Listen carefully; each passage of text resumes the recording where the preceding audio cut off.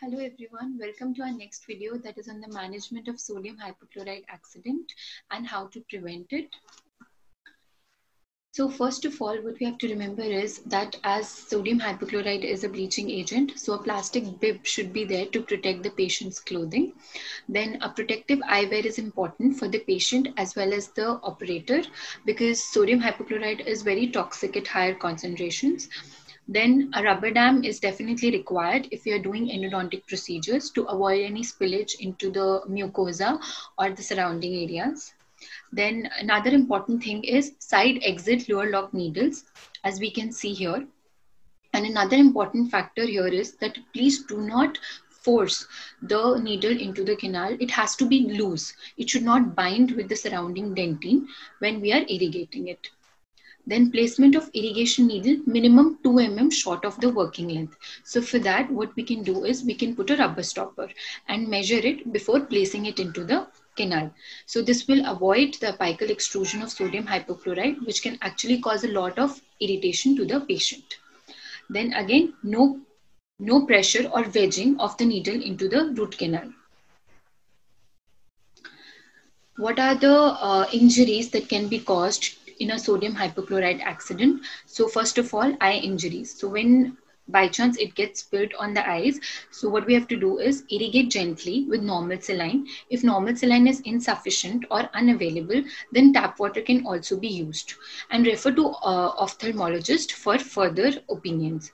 Now, one important thing here is that irrigate gently. So make sure that do not uh, when you are panicking, do not put uh, like you know splash the saline onto the patient's face because if we do that, it can actually spread on the sides and on the rest of the uh, face along with eyes. So we should make sure that we do it gently. Then in skin injuries, wash thoroughly and gently with normal saline or tap water if there are oral mucosa injuries, which is very likely if we are doing a treatment, dental treatment, uh, then we have to go for copious rinsing with water, analgesia if required. If visible tissue damage, then we have to go for antibiotics to reduce the risk of any kind of secondary bacterial infection. And if there is any possibility of ingestion or inhalation, you have to refer the patient to the emergency department. Now further for inoculation injuries, you have to give ice or cooling packs for the swelling during the first 24 hours. Heat packs should be given subsequently, analgesia, antibiotics to reduce the risk of secondary infection, and you have to request for the advice or management from the maxillofacial unit and arrange the review if to be managed in the dental practice. Now again, if we are doing a root canal procedure, so immediate irrigation of the canal with normal saline to dilute the sodium hypochlorite. Let the bleeding response continue to flush the irritant out. Now here I would like to mention, suppose we are doing something um, like a case of open apex. So in that, first of all, we have to make sure that we do not force sodium hypochlorite into the canal because there are very high chances that it is going to lead to extrusion and cause irritation to the patient. So in such cases, you can dilute it and make it at a lower concentration and make sure that the last wash is with saline instead of hypochlorite. Now, uh, after the uh, swelling, as we've already mentioned, advise the ice pack compression for 24 hours at 15 minutes interval to minimize the swelling.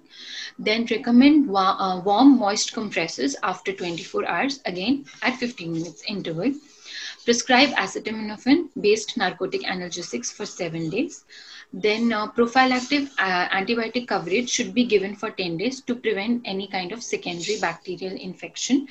That is amoxicillin uh, 250 mg thrice a day or metronidazole 200 mg thrice a day in penicillin allergic patient. Steroid therapy can also be given if the situation is severe for two to three days just to control the inflammatory reaction. Now, another important thing before I finish this video is that whenever such incidents happen, please document it. It is very important that we document the volume, the uh, percentage of sodium hypochlorite that we have used, and what kind of precautions we have been taking along with pictures of the patient for further reference because it is a very complicated case and in order to manage it, we should have the records. Along with that, we should also not forget that uh, sodium hypochlorite is not necessarily to be used at 5.25%. There are other methods of activation and we can increase the temperature, which is altogether a different topic to increase the efficacy of sodium hypochlorite. So we can have a certain concentration that can vary from 2.5 to 3%, which is acceptable in endodontics, along with various uh, activation therapies and increasing the temperature to increase its efficacy.